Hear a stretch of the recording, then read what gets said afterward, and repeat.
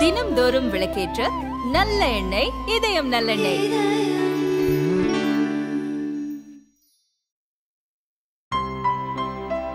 இனிமே கண்ணை மூடிட்டு கடலை எண்ணெய் வாங்கலாம்.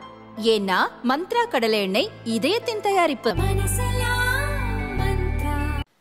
சென்னையில் உலக முதலீட்டாளர்கள் மாநாடு இரண்டு நாட்கள் நடைபெற்றது. முன் எப்போதும் இல்லாத வகையில் ஆறு லட்சத்து அறுபத்து நான்காயிரத்து நூற்றி எண்பது கோடி ரூபாய் முதலீடுகள் ஈர்க்கும் வகையில் பல்வேறு நிறுவனங்களுடன் அறுநூற்று முப்பத்தோரு புரிந்துணர்வு ஒப்பந்தங்கள் கையெழுத்தாகின. இதன் மூலம் பதினான்கு லட்சத்து ஐம்பத்தைந்து பேருக்கு நேரடி வேலை உட்பட இருபத்தொன்பது லட்சத்து தொண்ணூறாயிரம் பேருக்கு வேலை வாய்ப்பு கிடைக்கும்.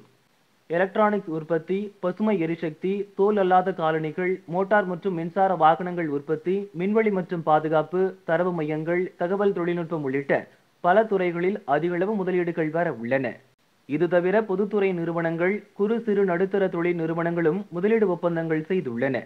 இரண்டு நாட்கள் நடைபெற்ற மாநாட்டில் மூன்று நிறுவனங்களின் ஆறாயிரத்து இருநூற்று எழுபத்தி ஏழு கோடி ரூபாய் மதிப்பிலான திட்டங்களை முதல்வர் ஸ்டாலின் தொடங்கி வைத்தார். இதன் மூலம் எட்டாயிரத்து அறுநூறு பேருக்கு வேலை கிடைக்கும்.